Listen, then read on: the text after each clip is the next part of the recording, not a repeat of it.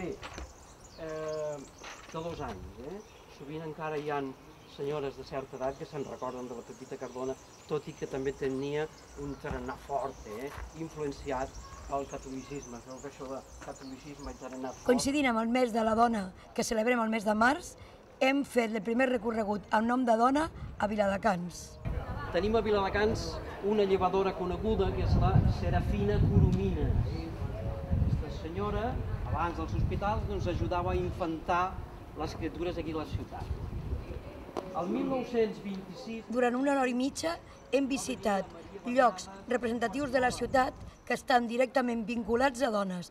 Igual, dones burgeses, treballadores, eh, científiques, mestres, totes eh, que han contribuït a fer la nostra ciutat el que és avui, una ciutat moderna però amb història.